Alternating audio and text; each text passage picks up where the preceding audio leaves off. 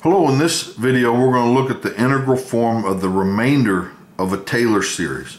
And so we're really not going to cover much of the Taylor series.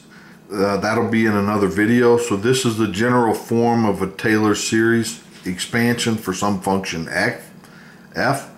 Uh, and the remainder is thought of, instead of going to infinity, go to some n, and then how close is it? Well, if you take the difference between this number and this number, which is this, then that's called the remainder. And then we want the remainder in limit to go to zero, and then that says this converges to f of x. But let's uh, look at the integral form of the remainder. So let's let f be in this.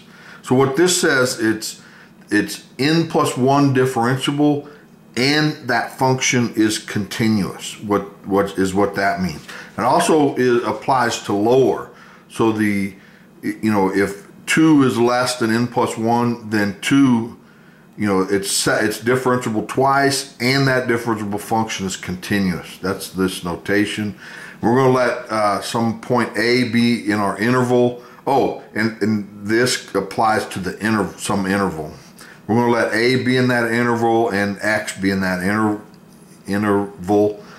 Uh, and then the, the remainder, which is this, can be written in integral form. And the proof is this, and we're going to use uh, uh, induction. So we're going to show it's true for n equal 1. So the remainder for 1, remember we're going to start up here.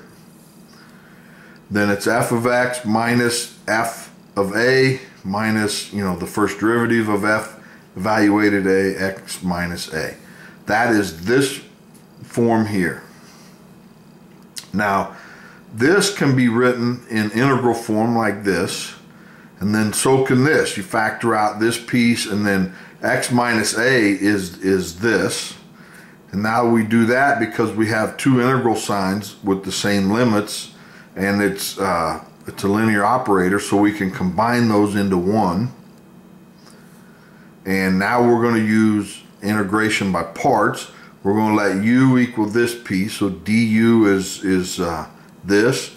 dv is just t. And then v, when you integrate it, it's t minus, and then we add a, a constant x. So then you put plug it into the formula. This is uv evaluated x and a. So now notice that when we evaluate, we put in an x right here, that's zero. And then when we put in an a for t, this part goes to zero. So this goes away, and then we're left with this piece. And this is in integral form. So n equals 1 is true. Now we assume it's true for some k, and then we show that it must also be true for k plus 1.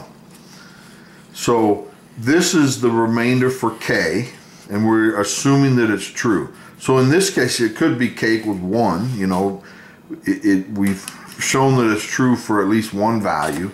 So we assume it's true for k, and we're going to prove it for k plus 1. So here's the remainder for k plus 1 is this, and that's from that previous page. So it's the, you know, the function minus the Taylor series, you know, where we stop at the k plus 1 term.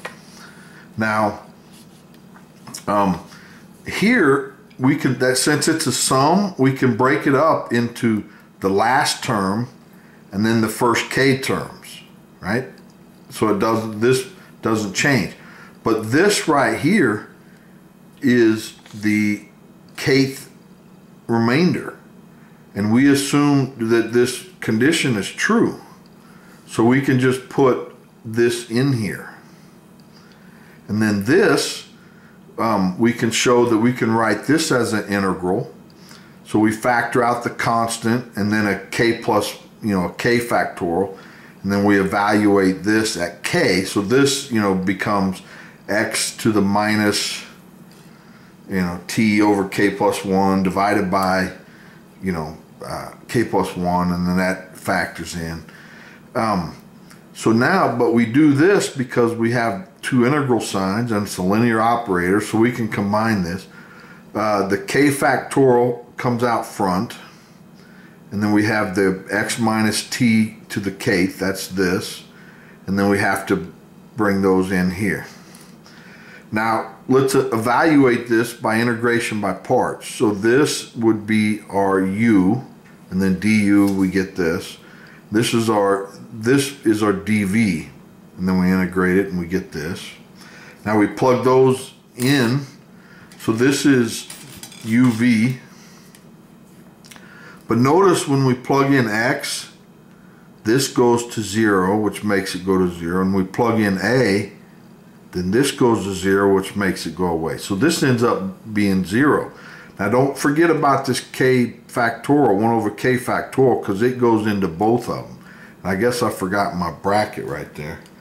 Um, then when we look at what's left is we take the k plus 1 to get k factorial, and then it's the integral of this. And that's actually what we wanted to show. So we're done. So it is true the remainder can be represented as an integral.